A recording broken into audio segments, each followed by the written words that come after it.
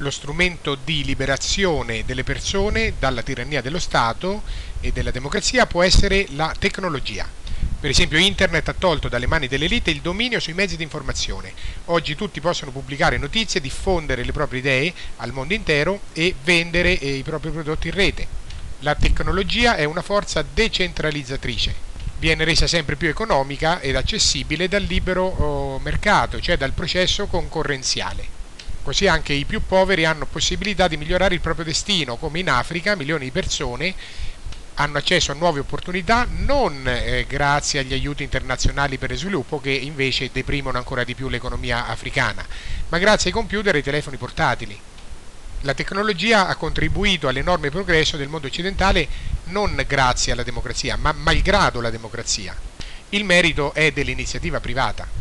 Il libero mercato e la concorrenza hanno dato la possibilità al piccolo consumatore di migliorare gli standard di vita. La tecnologia ha anche permesso la nascita dei social network, che danno libertà al cittadino perché l'individuo può scegliere in quali ambienti sociali vuole partecipare senza che il governo possa interferire. Quindi libero mercato, iniziativa privata, competizione, queste sono le chiavi per il progresso. La competizione anche in campo amministrativo, come già detto, piccole unità amministrative in concorrenza ma anche in co cooperazione tra loro, perché troppo piccole eh, ciascuna di loro per badare autonomamente a se stessa. Quindi si riunirebbero in eh, collaborazioni per l'energia, i trasporti, l'immigrazione, la difesa e così via. Per realizzare questo decentramento bisognerebbe smantellare le grosse organizzazioni governative e lo Stato non fornire più i servizi eh, che offre oggi, ma lasciarli a un sistema privato di libero mercato, per esempio di polizze assicurative.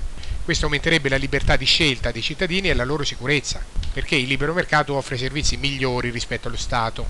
Lo stesso vale per le pensioni, non più previdenza di Stato, ma libero mercato, lo stesso anche per le agenzie di sicurezza e per l'assistenza sanitaria. Fondamentale poi indispensabile porre fine al controllo governativo sul sistema monetario così da impedire il costante svilimento del potere d'acquisto della moneta e i disastrosi cicli economici di espansione e recessione che provoca. Non più manipolato dalla collusione tra governi e istituzioni bancarie, il sistema finanziario internazionale si svilupperebbe in modo sano, garantendo crescita economica sostenibile. Dunque i grandi stati-nazione democratici dovrebbero frammentarsi in unità politiche più piccole, dove siano gli abitanti stessi a plasmare la società e non come oggi che eh, sono i governi a plasmare eh, la società e la mentalità dei cittadini. Bisognerebbe eh, smantellare l'Unione Europea a dispetto di tutti gli scenari catastrofici eh, che i politici europei paventano, quindi eh, nel caso della disintegrazione dell'Unione Europea non ci sarebbero questi danni devastanti come dimostrano Norvegia e Svizzera che non sono mai stati membri e sono rimasti sempre indipendenti dall'Unione Europea eppure eh, non hanno problemi particolari a gestire la globalizzazione. In particolare non è vero che l'Unione Europea favorisce il commercio e il libero scambio.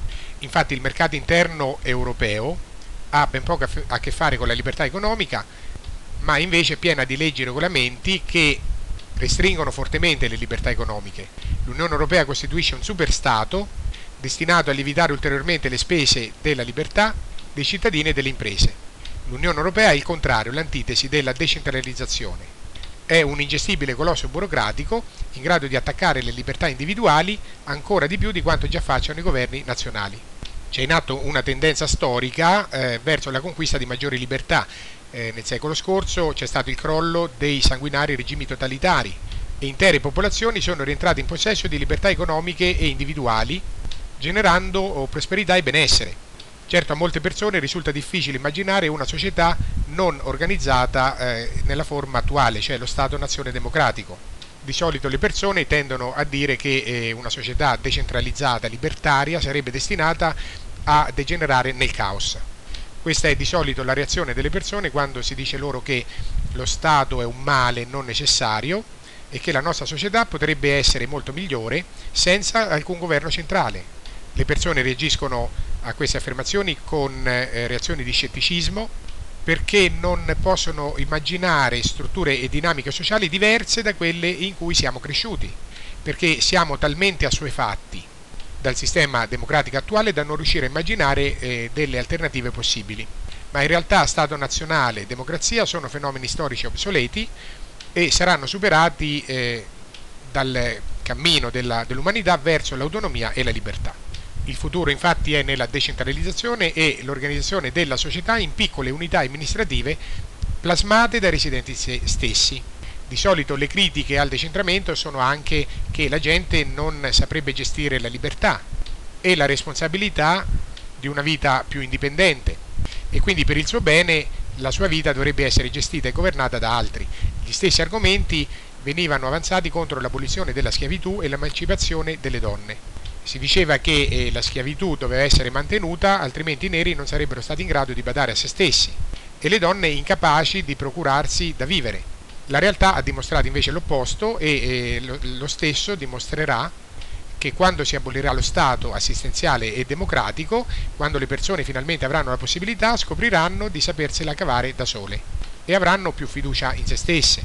La popolazione si organizzerà in gruppi e comunità volontarie dove ciascuno potrà scegliere coerentemente i propri interessi, attitudini e preferenze a quale gruppo vuole appartenere. Le persone saranno libere dal controllo instupidente della burocrazia e della maggioranza democratica. Il mercato, libero dalla morsa soffocante dei governi, genererà sviluppi ed evoluzioni sorprendenti, un'economia sana e standard di vita più elevati per tutti.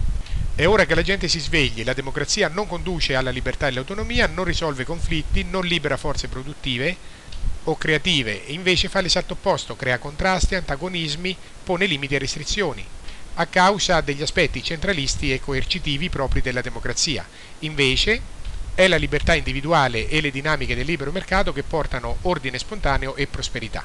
Purtroppo le persone faticano ad immaginare questa transizione eh, verso meno democrazia e più libertà perché siamo stati tutti allevati in uno Stato nazional democratico e sottoposti all'incessante martellamento di tutte quelle idee social democratiche. Fin da bambini ci viene ripetuto che la nostra società rappresenta il migliore dei mondi possibili. Dobbiamo invece renderci conto che il governo è un mostro egoista, ficcanaso e insaziabile, che soffoca l'indipendenza e l'autonomia dei sudditi e che la democrazia alimenta l'espansione di questo mostro, promuovendo l'idea che la vita di ciascun individuo debba essere controllata dalla maggioranza. È tempo di abbandonare quest'idea che lo Stato abbia il diritto di dominare e il governo debba stabilire come dobbiamo vivere e spendere i nostri soldi. È ora di capire che l'ideologia democratica non può portare armonia e prosperità, ma il contrario, a causa della sistematica coercizione democratica. È arrivato il momento di liberarci dalla tirannia della maggioranza e dalle catene che ci legano gli uni con gli altri.